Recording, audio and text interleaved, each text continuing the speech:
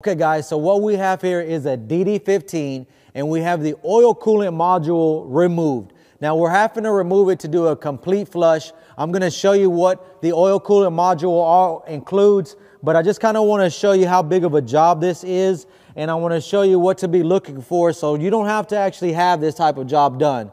If you find a broken component, which I'm gonna show you later, this is something that's going to need to be done if you have mains, uh, which is are going to be your main bearings. Any damage, if there's any signs of damage on your mains, we're actually replacing the crank on this particular engine. Unfortunately, that's what we're going to have to move forward with on this.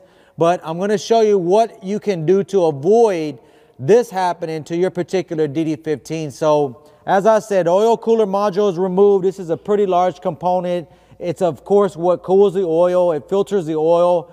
And there's also a standpipe that I'm going to show you here that will cause this type of damage.